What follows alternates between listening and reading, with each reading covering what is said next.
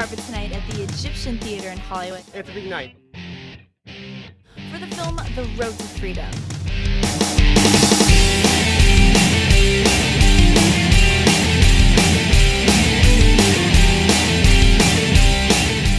Are you excited to be here tonight? Yeah, the story, uh, incredibly fascinating. Yeah. You know? Now, tell me what you're working on right now.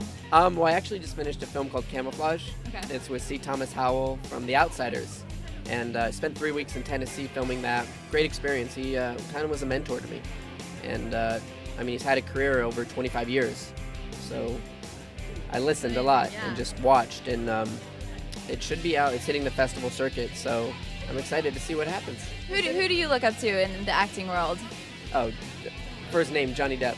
That's my lifelong dream to work with him. All right, well, thank you for talking with me. Thank you. You look great on the red carpet. Very nice tonight.